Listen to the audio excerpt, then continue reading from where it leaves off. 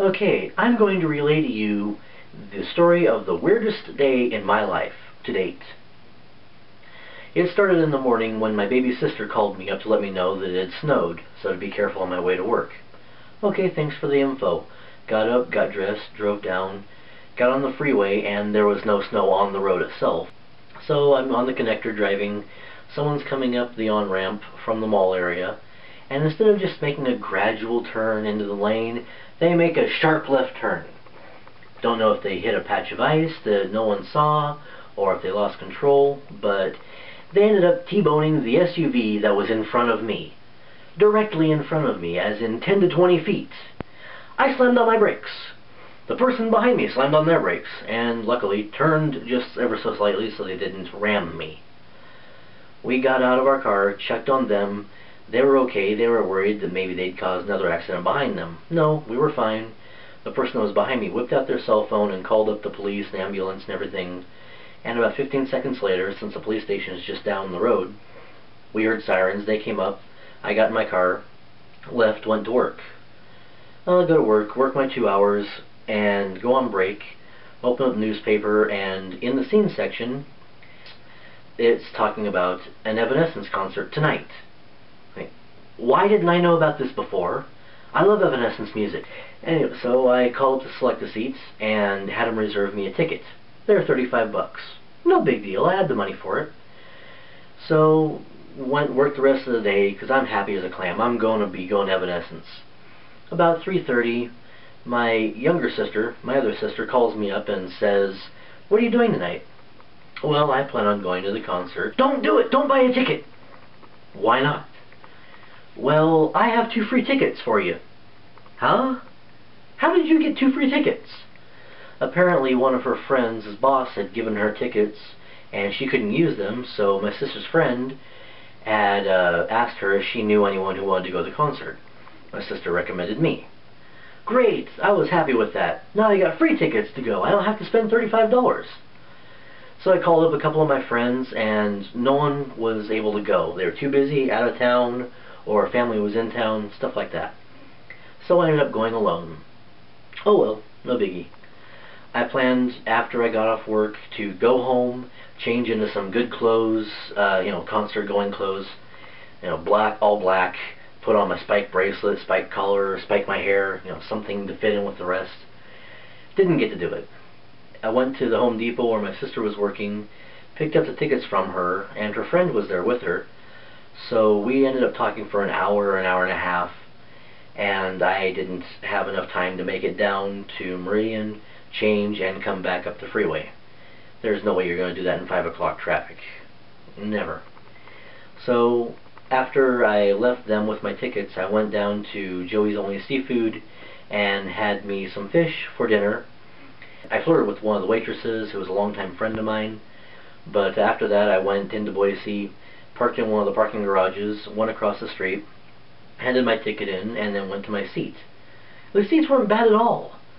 Uh, they were close enough to the stage, and I was on the side of the stage. They were close enough that everybody who stood there was about three inches high. So that's pretty good seating. I wasn't up in the nosebleed section where babies are being conceived. I was actually in a good spot where I could see everything. Well, they had two opening bands. One was called Julien-K. The second one was Sick Puppies. I'd never heard of either one of them. But I figure, well, if they're opening for Evanescence, they must be pretty good. Julien-K comes on, plays their music, and they had an hour-long session. They were awesome! I loved every bit of it!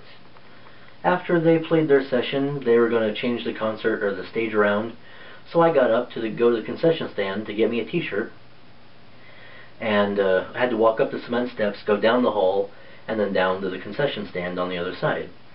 Got my t-shirt, got a ski cap, and some buttons, which I ended up giving to a friend who loved Evanescence, and then went back or down the hall and down to my seat, and realized I had gone one door too, uh, too soon.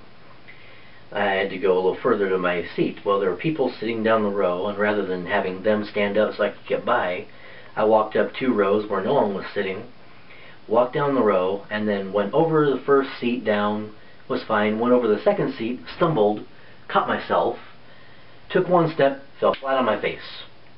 Well, not my face, but my chest and my knees. They took the brunt of it. Well, no one bothered to help me.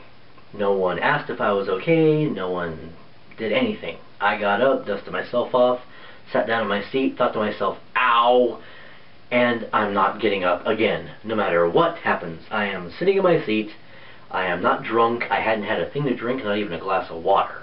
Uh, Sick Puppies came on next, and they were great too. The only thing I didn't care much for their music was everything was effing this and that. Oh well, everyone has their own style. They played for another hour. Then Evanescence came on, and it was beautiful. They played everything off of Open Door and Fallen, and they had a whole two hours to play it. So I ended up lying to myself instead of staying in my seat. I didn't leave it too far, but I stood up and was dancing around with everybody, like everyone down in the mosh pit was doing. People up beside me and behind me and in front of me were all just dancing to the music and singing with her, and it was beautiful, wonderful stuff. After the concert, I went outside and found the tour buses. I figured, great, I'm going to get my autographs. So I had my ticket out and everything. I had a marker with me so they could sign it. Had my t-shirt if they wanted to sign that. Um, never saw anybody, really. An hour and a half goes by, and me and a bunch of other people are waiting by the buses. One guy from Sick Puppies or Julien-K, I can't remember which one, came out, and he autographed my ticket, got on the bus, got off, walked back in, and we were kind of getting suspicious about this because no one's getting on the buses. Well, before too long, this very elegantly dressed couple walks by, and they walk up to me, say, here, and then walk away. I went, what the heck? I look down at my hands, and there's a bottle of champagne. The teenage couple that was standing next to me asked me what the heck had happened. I showed to them and said they gave me a bottle of champagne. We all laughed our butts off at that. I still have that bottle. Right here. I've kept it in my fridge for the last three years. It's a 2001 Brut, or Brut, I'm not sure which. I'm not a connoisseur of champagne, or alcohol, period. We wait there for a little while longer, and I get a weird suspicion that these might not be right. So I walk around the corner and there's another couple tour buses and some semis being loaded up with all the big equipment. The stage equipment, the instruments, everything. Here, we've been duped. These were dummy buses.